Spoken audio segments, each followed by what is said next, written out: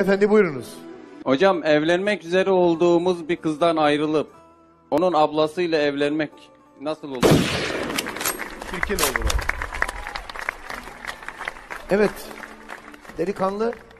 Ben küçüklüğümden beri Türkiye'de birisini çok seviyorum. Böyle Türkiye'de ünlü.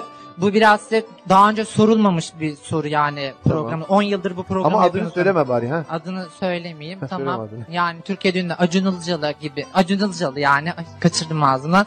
Onu kalbinde hissetmesi için ne yapmam gerekiyor? Böyle bir dua var mı İslamiyet'te? Acun Ilıcalı'nın kalbinde beni hissetmesi için yani hissetmesi için bir dua var mı İslamiyet'te?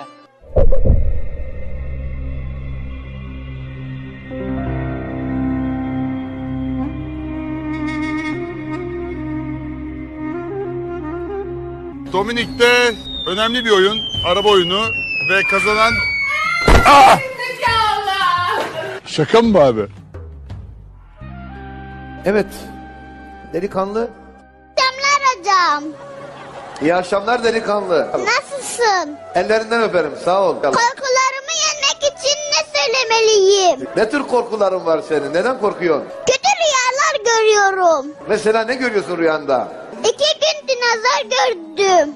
İki tane dinozor gördün. Gerçek sandım. Ne zannettin? Gerçek. Ha gerçek zannettin. Ama sen çok dinozor izliyorsun. Doğru mu? Te- televizyonda Sizi de izliyorum. beni izliyorsun. Ben dinozor değilim ki. Sizi sizi. tamam beni, beni izliyormuş. Yani ben dinozor izlemiyorum diyor. Sizi izliyorum diyor.